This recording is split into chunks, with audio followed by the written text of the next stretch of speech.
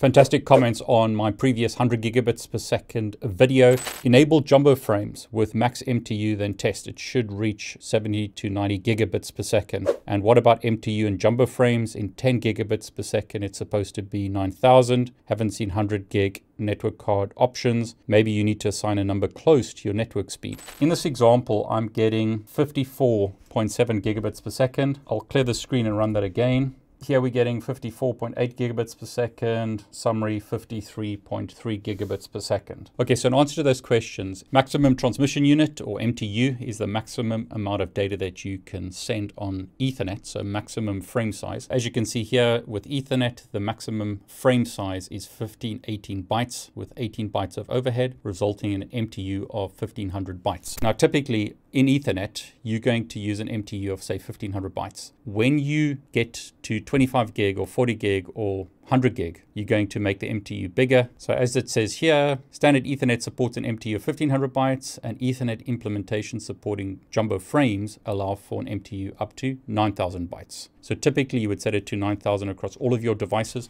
In this example, I have one computer connected directly to the other. So I could change it to another value as long as I set it the same across both connections on this fiber cable. So in this example, I've got a gaming computer on my desk and one below my desk. They are connected using fiber, 100 gigabits per second Ethernet. You can see here Ethernet 3, Mellanox ConnectX-4 adapter has a speed of 100 gigabits per second. Under properties, configure, we can configure a whole bunch of options on this network card, including jumbo packet. I've set this to 9000. That's typically what you would set it to. So that's on the one computer. I'll go on to the other computer. This is the one below my desk. So on this computer, Ethernet 4, Mellanox connector as well, 100 gigabits per second. Go to properties, configure, and under advanced, jumbo packet 9000 and click OK.